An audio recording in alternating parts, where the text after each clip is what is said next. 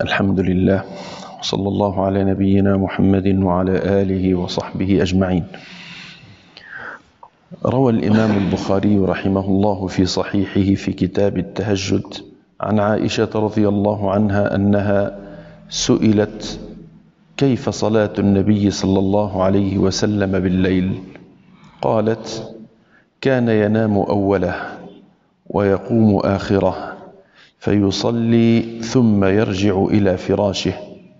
فإذا أذن المؤذن وثب فإن كان به حاجة اغتسل وإلا توضأ وخرج. عليه الصلاة والسلام. هذا الحديث أورده الإمام البخاري رحمه الله في كتاب التهجد وبوب له بقوله باب من نام أول الليل وأحيا آخره.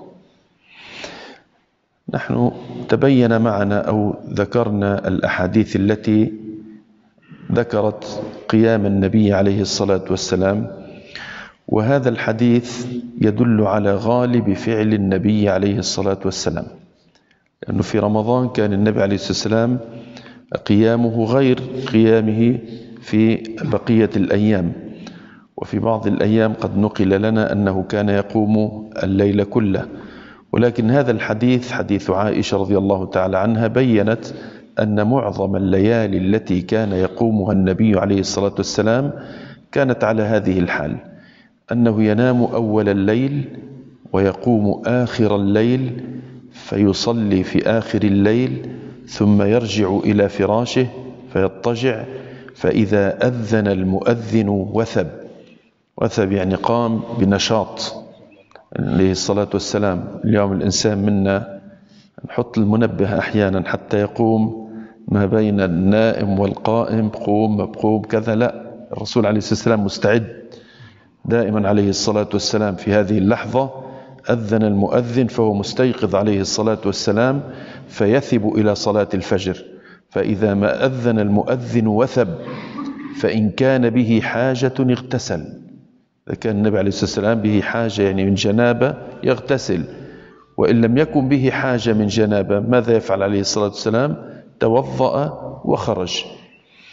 هنا طبعا الحديث كيف صلاة النبي عليه الصلاة والسلام قالت كان ينام أوله ويقوم آخره. وهنا فيه إحياء الليل إحياء الليل لأنه الإمام البخاري ذكر هنا من نام أول الليل وأحيا آخره لاش سمي بإحياء الليل لأن الإنسان إذا أحيا الليل إذا قام في الليل وصلى وذكر الله واستغفر فإن ذلك يحيي القلوب. فأي طاعة تقوم بها فهي إحياء لقلبك. قلوبنا اليوم إخواننا بحاجة إلى أن تحيا أكثر. كيف تحيا القلوب باستجابتنا لأمر الله وأمر رسوله عليه الصلاة والسلام. يا أيها الذين آمنوا استجيبوا لله وللرسول إذا دعاكم لما يحييكم فلا حياة للقلوب إلا بطاعة الله. فإذا ما كان في طاعة هذه القلوب تموت. بتموت تشوف القلب يموت شيئا فشيء كالجسد المريض.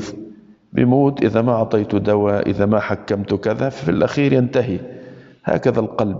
إذا ما أعطيت قيام ليل صلاة الفجر ذكر قرآن يموت.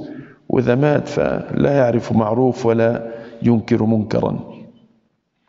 فكما قلنا في هذا الحديث نستفيد أن هذا عمله في غير رمضان وفي غير العشر فكان يحيي بعض الليل وينام البعض الآخر. كذلك نستفيد أنه من قوي على ذلك أن يقوم آخر الليل فهو الأفضل من أول الليل أو وسط الليل.